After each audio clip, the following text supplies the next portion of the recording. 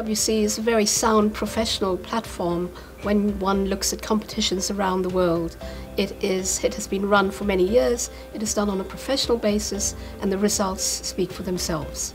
The IWC is an international competition, it's got a huge global audience, and an IWC medal is really worth the money because it gives people a chance to try something and try something new and feel confident that it's worth trying. I think the breadth of the judges that are here, I mean we've got judges from all around the world, um, but also the quality of wines and the reach of wines. I just tasted a wine or a flight from Egypt.